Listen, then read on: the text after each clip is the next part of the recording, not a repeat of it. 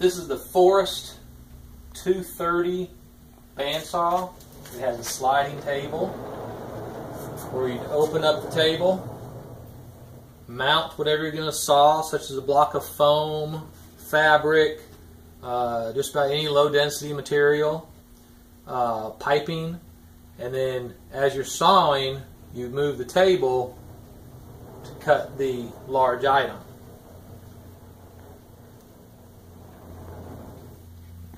And cut through the item. It has an adjustable blade guide, which you can go all the way down to about four inches. It, it bottoms out. And then you can raise it all the way up and get, you can actually cut about 24 inches on this saw. It's, uh, well, that measures right at 25 and a half, 25 and a quarter. I haven't done anything over 24 inches. Uh, but when you're this wide, you got to be something soft because you get a little blade deflection.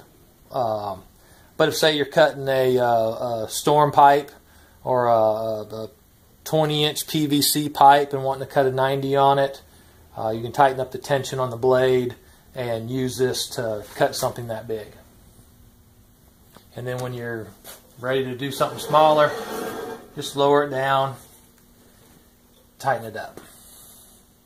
Machine is a 110, one and a half horsepower machine. So it has a one and a half horsepower motor, a 110 standard plug-in with a Cutler hammer starter, and simple start stop. It has a reset for the overload heaters.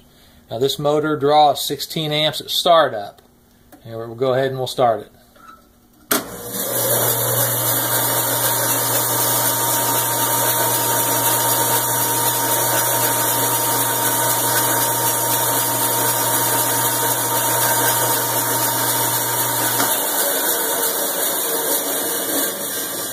Just push the button to stop it. It has a built-in dust collection system that sucks the dust off of the saw blade itself, then comes down and joins a main chute which comes off the bottom inside of the blade, which sucks the dust out. So you would attach your dust collection system to this outlet, and it would suck both from the underside of the blade, or underside of the wheel, and top side of the blade there. So uh, does pretty good job. Uh, you need at least a one horsepower dust collection to give enough vacuum. Cut a little foam on this saw. First thing I do is I use some magnets just to provide a backstop. We're going to lower our blade guide down to about an inch or two above.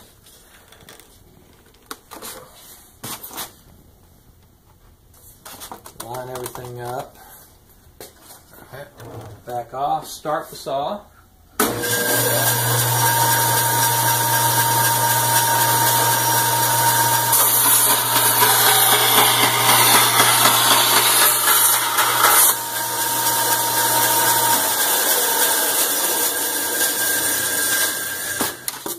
There you've cut your foam in half. Got in a cardboard box. Uh, a lot of people have these filled with foam or scrap and they need to cut it up.